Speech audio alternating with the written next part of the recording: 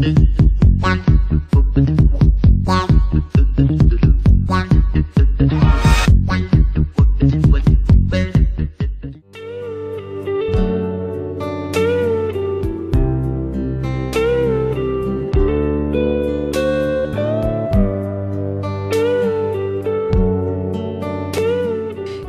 poznate parove, slušamo o njihovim životima. Neretko se sakriva sve ono što nije tako lepo, što je neafirmativno, prećutkuju se sve one ljutnje, nesuglasice i u javnosti se stvara slika idealnosti.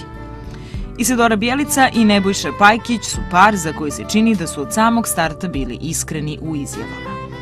Nisu krili peripetije, spajanja, različita raskršća, razočaranja u prijatelje i gubitak poverenja u one kojima su do juče verovali. Zavisi od stepena bliskosti, mislim, možemo da verujemo ljudima nakon duže prakse, kako bih rekao. Iskustvo je važno za veru. Bez iskustva ne može da se veruje. Ako imamo niz primera da je neko prema nama demonstrirao prevashodno vrlinu i emociju, mi onda treba da uzvrećamo i da mu verujemo i da mu damo više nego što dobijamo. Ako primetimo nešto drugo, onda možemo drugačije da se ponašamo. Isidora u tom smislu jako osjetljiva.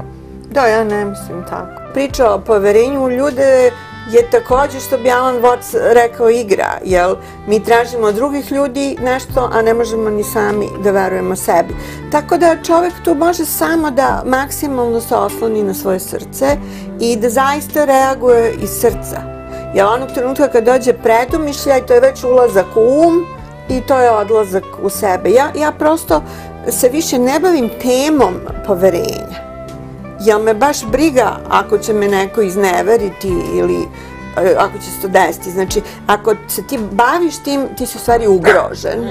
Iako su dugo u braku imaju puno zajedničkih osobina, jedna ih ipak razdvaja. Jedna i to važna.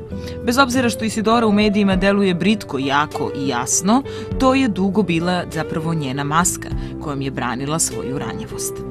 Pajkić se pak ne obazire na komentare okoline i samim tim čini se da mu je i lakše. Njega zaista zabole. I to je neki fenomen. Ja možeš da prišeš šta hoćeš, da mu šta kaže, on je tu untouchable. A ja sam godinama strašno patila, to je taj bio sindrom, u stvari da želim da me svi vole, što je jedna vrsta bolesti. Strašno je važno da, da se sučimo sa situacijom, što je za mene bilo teško, da je povređenost oblik taštine to je nešto što mi hipersenzibilni Aha. teško prihvatamo, a znači meni je potrebno bilo puno, puno bola i saznanja i rade na sebi da shvatim da to što sam ja mislila da je moja e, vrlina, moja senzibilnost je zapravo iskaz moje taštine.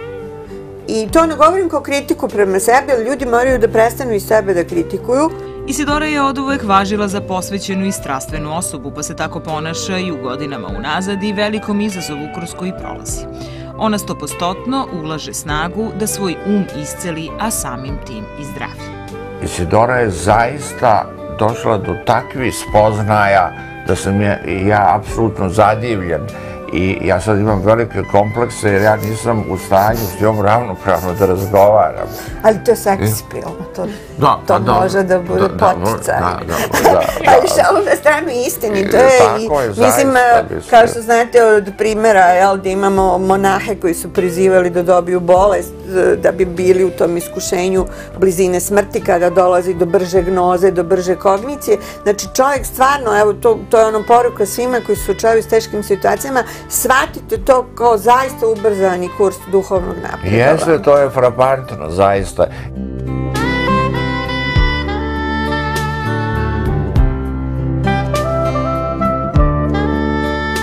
Isidora govori i o svojim pogrešnim stavovima koje je pratila i grčevito ih branila. Danas drugačije gleda i na ljubav i na brak. Ja sam ja bila jako zahtevna žena, yes. ono što ja zovem emotivna sponzoruša. ja sam bila žena koja nije bila celovita bez moje druge polovine i onda u stvari vi počinjete da davite tu drugu polovinu i stalno ste žedni, gladni, ljubav. Ne, ne, ne, dobro, sad to on teši, jeste. Mislim, ovo nije kritika, nego fakt, ja sam romantična žena. Ja sad slušam i pratim Isidoru, ona po celi dan sluša različite teoretičare. Po dva sata, po četiri sata, napravi malu pauzu, odemo na ručak, ona mi malo objasni šta je slušala i ona nastavlja dalje i dalje i dalje. Ja neki put se u četiri sata ujutro probudim, ona i dalje sluša nekog teoretičara. Ljudi nekako to shvatio, kupe veš mašinu, imaju manual, ali uđeš u brak, niko ti ništa ne kaže. Naprotiv, dobiješ one glupe informacije, tipa ljubav ne tre, otprilike konzerva tunjevine duže traje od ljubavi. Žene nisu obučene kako da ne uđu u ulogu žrtve, e, nismo obučeni uopšte kako da postavimo tu granicu. Ne samo, mislim, nisu u džabe spavali kraljevi u dve odvojene sobe, znate. Hoću da kažem, to su razne i razne, sa, sa decom takođe. Mislim, mi, mi uzimamo zdravo za gotovo negativne programe koji se vrte hiljadu godina i onda se čudimo što dobivamo iste negativne rezultate. Einstein je rekao, ne možeš sa istim postupkom koji si uradio dobiti novi rezultat. Znači, moraš nešto da menjaš. Moja ljubav je moja kajda za žene. To je ovo, ovo, ovo je moja ljubav.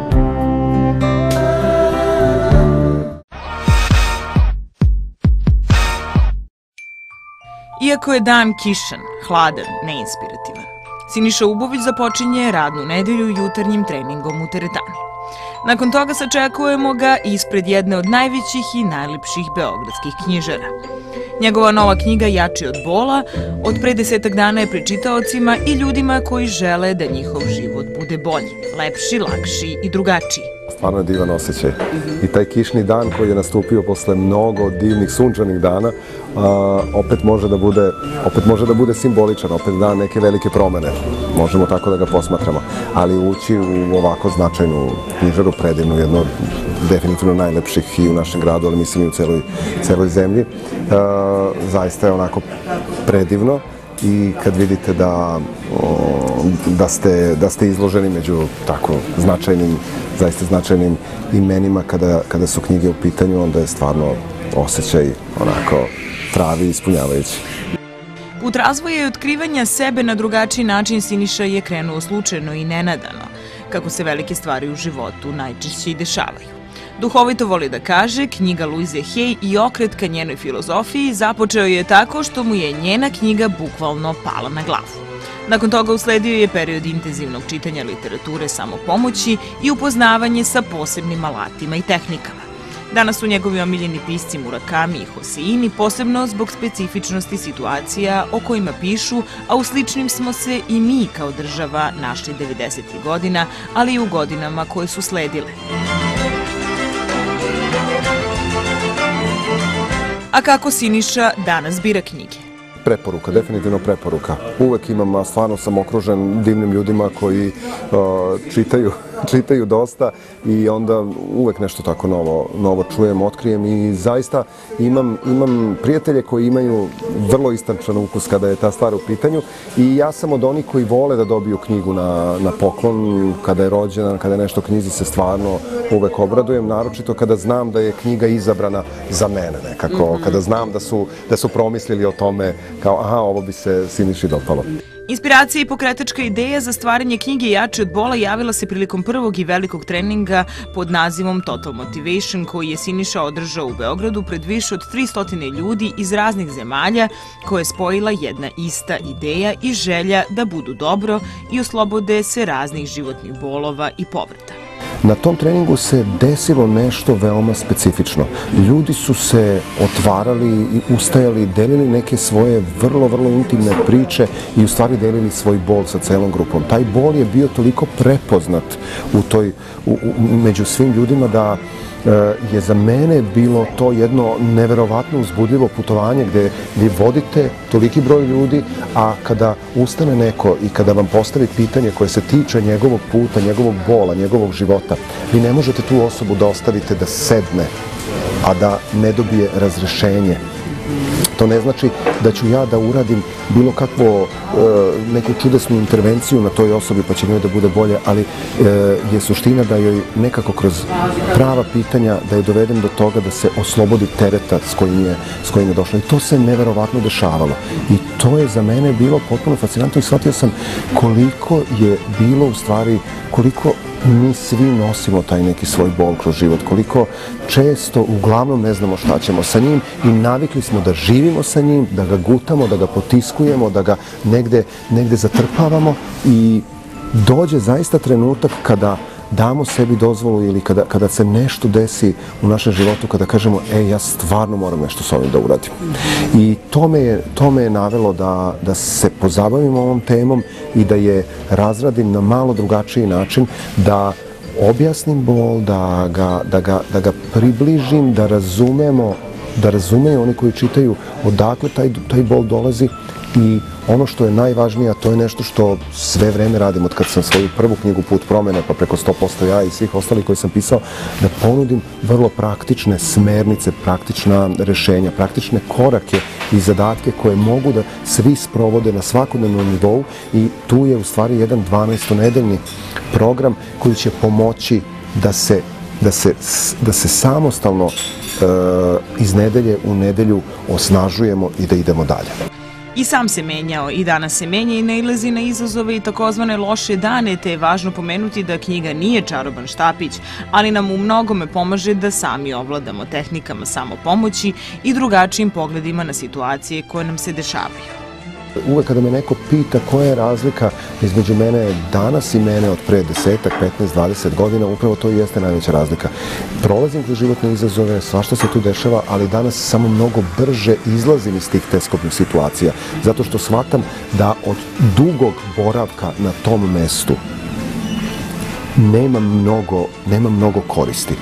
Važno je da prođem kroz taj period i bola i patnje, važno je da to, da te sve emocije nekako registrujem, da ih, da ih propustim kroz sebe, da dam sebi dozvolu da, da, da osjećam sve što osjećam, ali onda dođe trenutak kada sam sebi moram da kažem, e, okej, okay, sada si završio sa tim, šta sad možeš dalje da uradiš? E, šta dalje možemo da uradimo je nešto što sam negde delio i zato je ova knjiga i nastala kao rezultat nečega što sam sam iskusio. Ovo nisu nikakve teorije, neke teorije ko, kojima ja sad nešto pišem jer sam negde pročitao pa mnogo dobro zvuči, nego je nešto što sam sam za sebe kreirao kroz sve ove godine.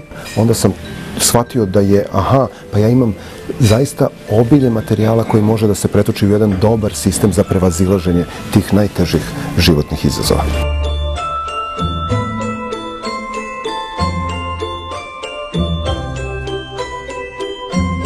Danas iz ove perspektive zaista e, koliko me taj Siniša tada nekako i ljutio i nervirao što je takav, danas e, sa mnogo ljubavi i razumevanja gledam na tog Sinišu, jer taj Siniša je stvarno bio tako nekako pun nekih, nekih svojih i strahova i ograničenja i jednostavno taj Siniša nije davao sebi dozvolu da se, da se razmaše, da diše život punim plućima, ali je to bio Siniša koji je radio najbolje što je znao i umeo. Kao što i ovaj sada Siniša isto tako, koji ja sad radim najbolje što znam i umem, a verovatno ću iz perspektive za nekih deset godina da kažem, aha, Moglo bolje. Moglo je, moglo je možda i drugačije, ko zna. Ali, ali mislim da je ono najveći benefit u stvari svega ovoga na čemu radim jeste to da, da, da zaista mogu s ljubavlju da pogledam na sebe, na svoj put, da razumem, da oprostim sebi greške, da kažem sebi, ok, sad sad si snažniji, sad, sad, sad je potpuno u redu da živiš svoju autentičnost i da budeš to što jesi. Ovu lepu priču o lepšem životu koji možemo da izaberemo završavamo u Sinišin intervju na radiju. Promoviše svoju novu knjigu Jači od bola, veruje da smo jači i pomaže ljudima. Suština, suština jeste da shvatimo da uh, svako od nas nosi svoj bol, svako od nas uh, će da taj bol nosi onoliko dugo koliko može da se nosi sa njim i do onog trenutka dok ne shvati da je zaista došlo vreme da se ono što se otpatilo, da se završi sa tim i da se krene dalje. Ja bih voleo da ova knjiga Jači od bola u stvari ljudima vrati veru u njih same i da ih podsjeti da mogu biti jači od svega ukoliko preuzmu odgovornost za sebe i za svoj život i ukoliko požele da vide neku drugačiju stvarnost.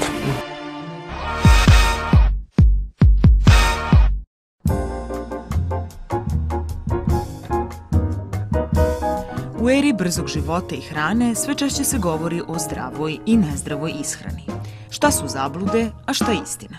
Kad pričamo danas o zdravoj hrani, e, često lekari kažu pa ne postoji bolesna e, hrana. Ja moram da kažem da se ne slažem sa tom tvrdnjom, jer hrana se danas uveliko promenila. Zbog hiperprodukcije razvoja određenih žitarica koje nisu kao nekada, mi smo pronašli naš idejni projekat sa našim stručnjacima i napravili liniju zdravih funkcionalnih proizvoda koji su samo posledično bez glutena, bez laktoze, pogodni za ishranu široke populacije od naših najmlađih do najstarijih.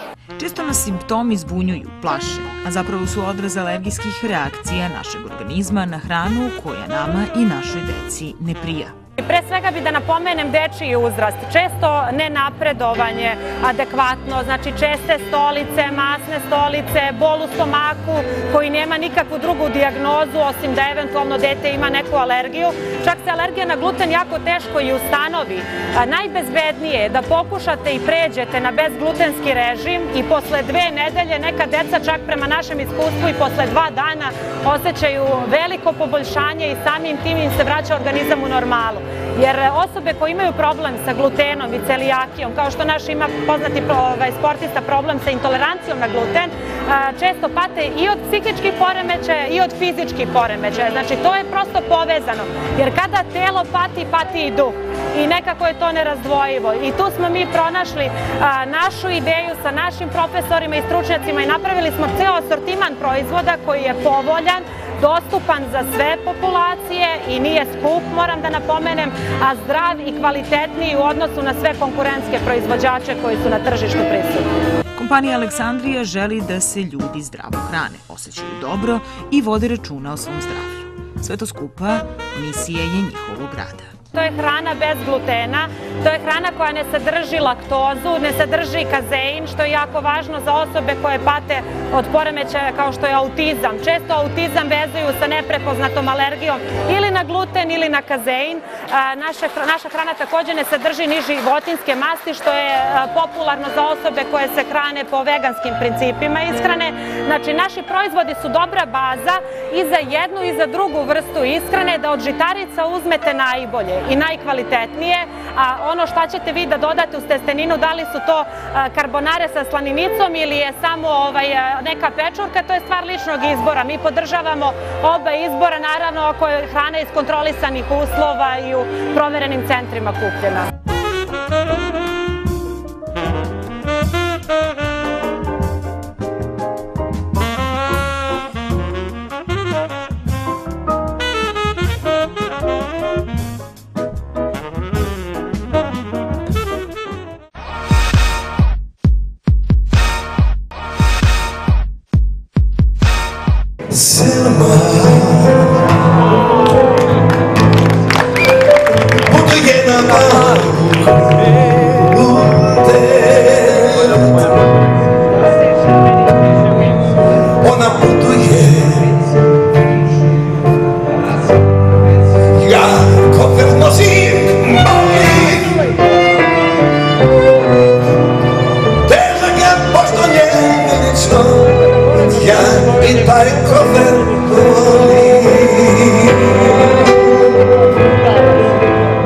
Željko Bebek ponovo u Beogradu na veliko oduševljenje vernih obožavalaca.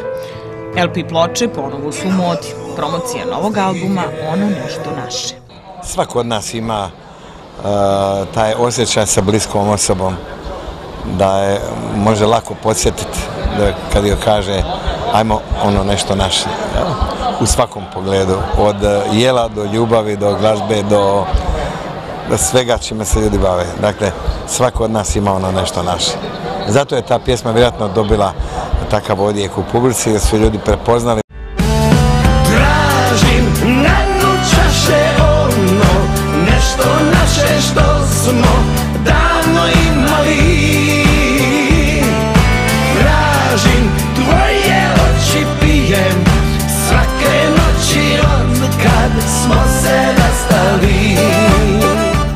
Željko Bebek odgovori na pitanje koliko uspeva da ono nešto svoje zadrži u pesmi, tačnije da ne pristane na kompromise koje moderno vreme i muzika nose sa sobom.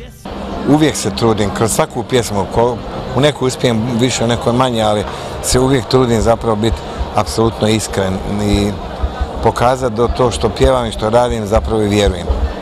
Vjerojatno je to osnovni razlog uz čega imam pažnje publike već tolike godine. Da kažem, skoro bi sam rekao da sam nekako, da je došlo vrijeme kad bi možda ljudi mogli biti umorni od mene. Ali osvjedočim se svaki dan na nekakav način da sam još uvijek dobro došao i da nemam pravo biti umoran. Ipak svaka profesija pa i muzička donosi određene krize, preispitivanja, pa tako Željko iskreno kaže da je i sam prolazio kroz izazove, ali neka tajna veza i magija i note uvek pobede. Ako voliš ovu ženu, njene suze poštivaj, kad je tužna budi s njom, kad te ljubi uživaj. Muzika je magnetična i i u trenutku kada ti se čini da možda trebaš odmoriti ili trebaš skoro da kažem napustiti, onda shvatiš da ne možeš, da ćeš se naći u, u narednih 10 minuta u poziciju koja ćeš se u sve to vratiti. Naravno, ako bi bio odbijen, ako bi me publika ne bi više željela čuti i vidjeti, naravno da bi se povukao na nekakav drugčiji način bi vjerojatno bio u muzici. Ali ja sam vjerojatno rođen pod sretnom zvijezdom i unatoč svim problemima koje sam u životu kroz karijeru imao od dana kada sam napravio taj bend o kojem i danas svi govore pa kroz vrijeme dok sam se privikavao biti sam do ovog novog vremena kada ne da sam sam nego imam nekoliko formi u kojima nastupam. Dakle, ako poželim imam iza sebe simfonijski orkestar, ako poželim imam iza sebe tamburaše imam svoj rock and roll band koji je možda i najbolji na ovim prostorima. Danas ima još jednu privilegiju koju je sam stvorio. Nastupa sa sinom Zvonimirom u okviru benda Očevi i sinovi i veruje da će ih na proleće čuti i beogradska publika u okviru velikog koncerta. Željko Bebek i dalje je autentičan, srdačan, otvoren za razgovor i lepu reč i to je zasigurno još jedan razlog duge ljubavi sa Beograđanima koji svaki put iznova uživaju u njegovoj dirljivoj, jedinstvenoj interpretaciji pesama uz koju smo odrastali, a danas ih slušaju i neki novi klinci. Selma Na ulasku vozdih je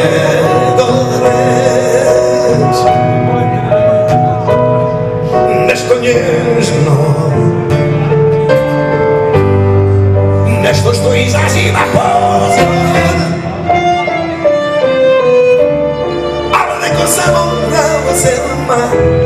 Govindan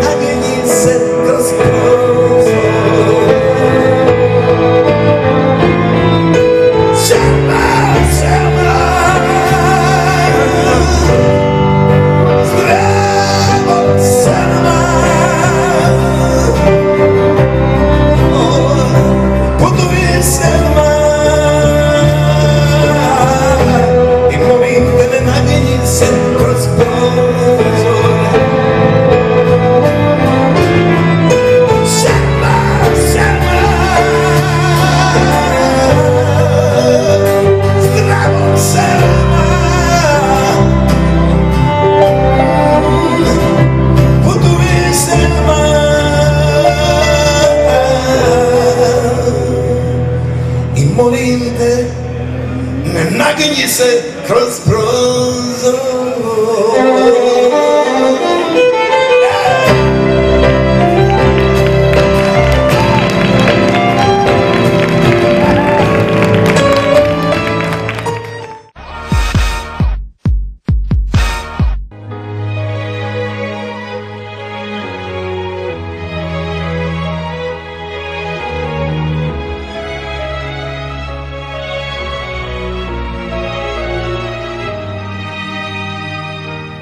Neka nejasna želja da postanem slikar i izradim žive slike rodila se u meni pre nego što sam naučio da čitam i pišem. A ta želja rasla je sa mnom dok najposle nisam video da moram početi sa crtanjem. To je bio početak moje umetničke karijere, a crkva je bila moj učitelj. Čika Paja Jovanović, pitomac Bečke likovne akademije, ugledni građanin Beča i potonji stanovnik Beograda. Ostavio je dubog trag u okvirima evropske kulture i nemerljiv značaj u sistemu srpske likovne umetnosti. Ova izložba, priređena u domu Jevrema Grujića, priča je i o prijateljstvu dve porodice, poštovanju, redkosti, hrabrosti, doslednosti. To druženje je naravno počelo u Beču gde su se oni upoznali, a zatim se nastavilo i u našoj zemlji, e, tako da je dom Jevrema Grujića u kome se danas nalazimo, Čika Paja vrlo često posećivao. I ono što je zanimljivo i po čemu ova izložba i nosi ime od Čika Paje, jeste da je sve te portrete koje on radio, portrete članova porodice, on potpisivao upravo na taj jedan lep, emotivan način od Čika Paje. Tako da e, ta dela, pored e, njihove umetničke vrednosti, koja je izuzetno velika, neprocenjiva, ima i tu emotivnu vrednost za nas. Mada sam kao najslabiji stupio u Eklamilerovu školu, na kraju godine imao sam najbolju sliku na akademijskoj izložbi, koja ne samo da mi je donela školsku nagradu, već i od cara stipendiju za tri godine, pa još i hiljadu forinti. Reči su Paje Jovanovića. Paja Jovanović je živeo čak 98 godina i ja mislim da je to neka informacija na koju svi možemo da budemo ponosni jer je za to vreme e, napravio e, veličanstven broj dela, bio jako plodan umetnik. U ono vreme njegovi savremenici su govorili, nije to naravno bilo ništa negativno, ali su ga malo ovaj, zadirkivali da štancuje svoja dela jer je toliko brzo i, i ovaj, radio i bio plodan umetnik da je čak e, određene motive i po više puta radio. Ovde možemo da vidimo jedan presek Pajinog stvaralaštva um, pre svega ima jedan salon koji je posvećen lepoti žene. On je bio opčinjen ženskom lepotom, ženskim telom, ima jako puno aktova koje je radio i naravno za to mu je njegova najveća inspiracija bila upravo njegova supruga Muni. On je bio stariji od nje 25 godina, ali to ih nije sprečilo da razviju jedan divan odnos, jednu veličanstvenu ljubav, zahvaljujući koje su i nastala neka od dela koje vidimo ovde. Radovi u okviru ove izložbe biće pred Beograđanima i gostima grada do 4. marta 2018. godine. Kuriozitet je da su izloženi i delovi privatnih kolekcija koji nikada nisu viđeni. Paja Jovanović bio je cenjen, živeo na relaciji Beograd-Beč, a izlagao u Parizu, Berlinu, Londonu, Rimu pa je bio evropska zvezda. On je bio samo uh, slikar poznat u Srbiji. On je bio jedan od najpoznatijih slikara u Beču ono vreme koliko je živeo tamo. Tako da, uh, evo samo jedan podatak koji govori tomu prilog, uh, car Franja Josif u to vreme najmoćnija figura u Evropi. On je isključivo dozvoljavao Paji Jovanoviću da ga portretiše. I Pa je napravio preko 14 njegovih portreta. Znate, to je najmoćnija figura Evrope u to doba. Potrebno je ogromno poverenje između umetnika i tako jednog vladara ovaj, da bi se ta veza ostvarila. Teško onoj slici koju slikar mora da napiše naslov. Ta slika ne valja. Ona je slika dobra s koje gledalac bez naslova čita šta ona priča, kaže Paja Jovanović.